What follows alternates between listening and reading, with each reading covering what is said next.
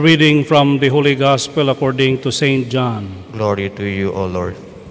Jesus said to his disciples, Peace I leave with you, my peace I give to you. Not as the world gives, do I give it to you. Do not let your hearts be troubled or afraid.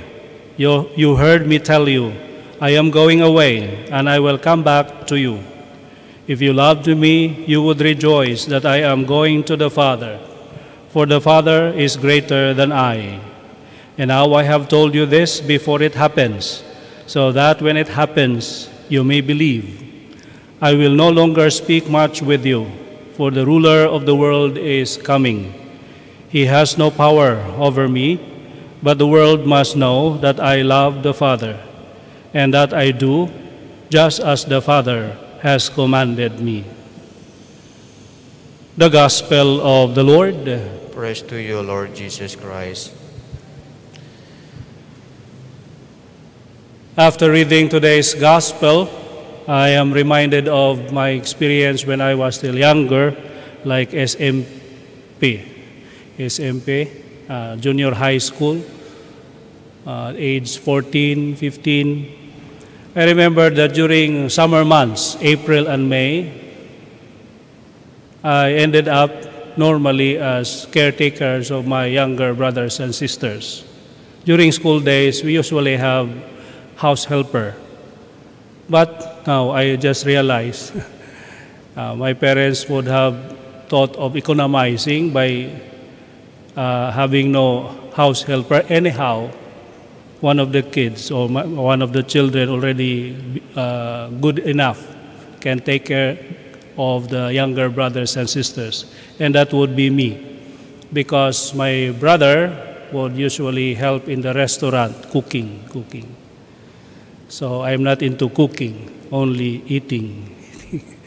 but I uh, took care of my younger brothers and sisters. During daytime, when there's light and we feel all safe, we enjoy a lot. Because, yeah, I'm the uh, eldest among them, then I took care of them, but we ended up playing together, uh, playing together. So the house is so topsy-turvy, so disorderly, but we were happy because we were having fun. But when it is already night time, around 6 o'clock, when everybody was already tired, exhausted, cranky, so we start, uh, the youngest, the one still crawling, we start crying, so hungry, tired, exhausted. Then that's the time that I would feel uh, disturbed by what I see and the surroundings because it's becoming dark. Yeah, I notice now the light, the bulb, two bulbs only, one is flickering on and off. So I would look far away, waiting for someone to come, and that someone is my mother. So when I looked away, uh, carrying the one who's still already crying, then holding uh, onto the hands of another and uh, calling the others to keep quiet. Then my mother would come. In just five minutes, the things are in order. and what I really felt is peace, at peace. I am at peace and back to my, to my normal self. I'm not anymore intimidated, afraid, because of the presence of my mother. Ah.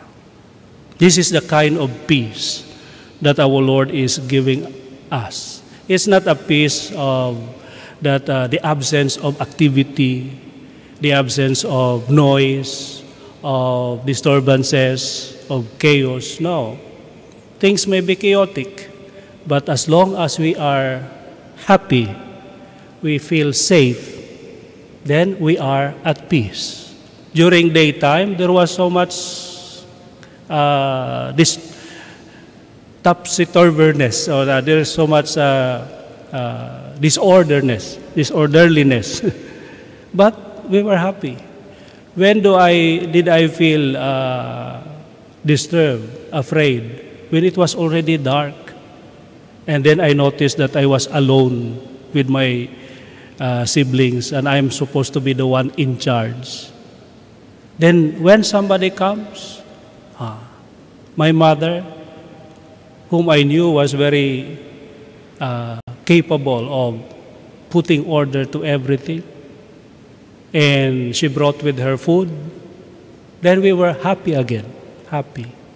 Now, this is only the presence of my mother. How much more the presence of God in our lives? That's why, if we are one with God, if we are united with Him, whatever the circumstances are, we will always be at peace.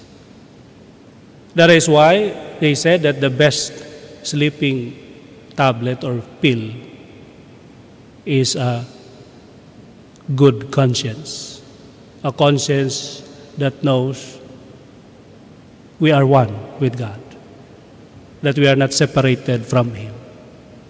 But when we have a troubled conscience, when we know that we have done something wrong or we are away apart from God, then we are not at peace. Even if there is so much uh, plenty, abundance, so much food, we may be very yeah, wealthy, but if there is no joy, there is no uh, security rooted in God's presence in our life, then we will not be at peace.